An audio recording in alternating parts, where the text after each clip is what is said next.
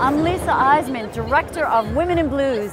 I'm here in the heartbeat of Chicago, St. Patty's Day nonetheless, filming our second leg of this beautiful. That's right, guys. Where are we? Chicago. Yes. Women in Blues. Yes. Amazing documentary called Women in Blues that we're going to be making. We're filming the second leg as of today. We're going to be filming Holle Thee Maxwell. Tomorrow we're getting her award, but we can't do this without your help. I'm here with my beautiful but very small crew, Peter DeVries, Tammy Glover. It's just the three of us. So far, this film has been completely self-financed, and we're not done yet.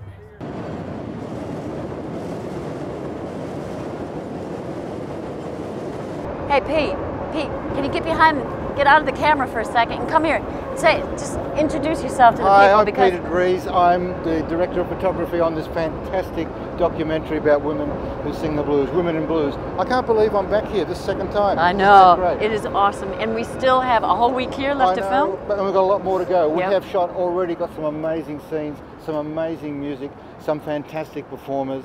Uh, you're going to love it. You're But what is the thing? We can't do this without you. That's right. It all finishes if we can't get any more money to, to go on. We have so much more to do, but we already have so much fantastic material already in the can. So please kick in the tin.